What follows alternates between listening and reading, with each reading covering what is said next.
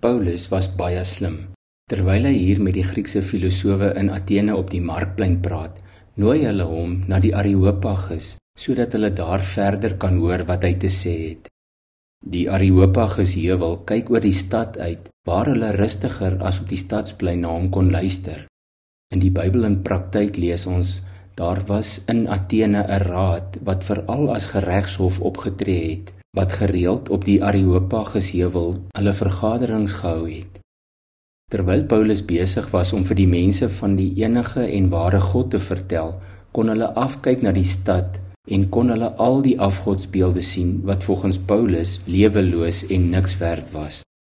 Soos ons gister gehoor het, begin Paulus deur hulle bekend te stel aan God en wel aan die Skepper, maar sonder om sy naam te noem maak hy 'n baie slim wending in sy kort rede om by Jesus Christus se verlossingsboodskap uit te kom.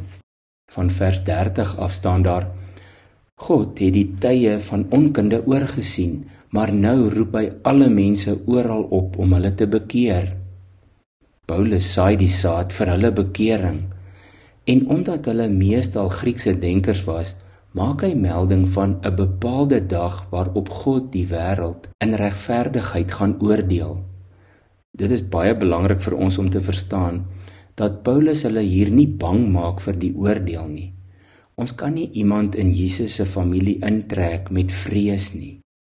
Maar Paulus weet hulle vrees hulle sogenaamde afgode wat juis met oordeel en vrees te werk gaan en daarom noem hy God se oordeel regverdig en hy het reeds gesê dat God die tye van onkunde oorgesien het.